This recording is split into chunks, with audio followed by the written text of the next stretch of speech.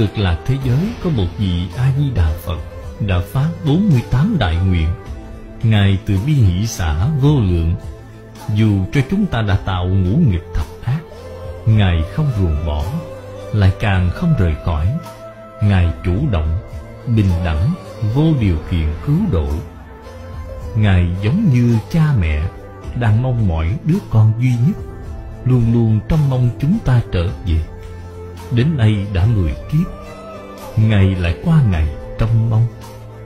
Thả tay tiếp dẫn, năm lại qua năm, chờ đợi chúng ta. Đứa con chịu khổ trong tam giới, kẻ lang thang trong lục đạo.